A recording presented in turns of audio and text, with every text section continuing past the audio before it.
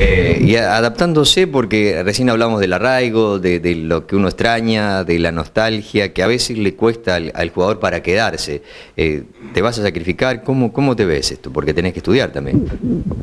Y extrañar, sí, yo creo que seas grande o chico vas a extrañar, pero extrañar es un sacrificio, así que para llegar tenés que sacrificarte y obviamente vas a extrañar. ¿Te gusta? Sí. ¿Y, el estudio cómo va a ir con esto? Hay, que estudiar. Sí, vos tenés malas notas, creo que no jugás, porque el club se comunica con el, con el colegio y si vos querés ponerle esconder algo a tus viejos con lo que te queda, el club ya sabe. Así que, bien, te noto contento, ¿no? ¿Viajás esta noche y ya entrenan en la semana? Viajo, eh, creo que llego tipo 5 y ya me agarro el colectivo y tengo que entrenar, porque lejos de retiro la cancha. Así que me voy a pasar de viaje hoy, para llegar mañana al entrenamiento. ¿Y se sentís con esas ganas de, que llegue el, día para ir a entrenar así a la hora? Sí, la verdad que, bueno, allá, acá digamos que hay días que no me sentía con ganas de entrenar, pero allá van dos semanas, no es mucho, pero tengo ganas de entrenar cada hora.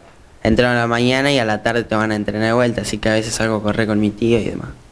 Bueno, creo que lo más importante estas ganas, ¿no, Adrián? Eh, hay que ir paso a paso, como se dice, pero lo vemos entusiasmado, condiciones tiene eh, y esperemos que se pueda dar del salto, ¿no? Luego cuando cumpla con la edad para estar ya con un contrato, ¿no? Sí, eso va todo de, o sea, yo siempre se lo hablo a él principalmente eh, porque, bueno, muchas veces, o sea, en, lo que es el porcentaje de lo que es el fútbol, eh, no siempre llega el técnico, sino el constante, el que se sacrifica. Y bueno, él está pasando por esa etapa, eh, como todos dicen, ¿no? Por ella es una frase media popular, pero bueno, es todo paso a paso. Por el momento la adaptación la está haciendo bien, el club le dio la confianza al cuerpo técnico, de los dos primeros partidos atajar de titular, eh, ir mejorando, que es lo que ellos quieren, partido tras partido, y bueno, después todo está en las manos de él.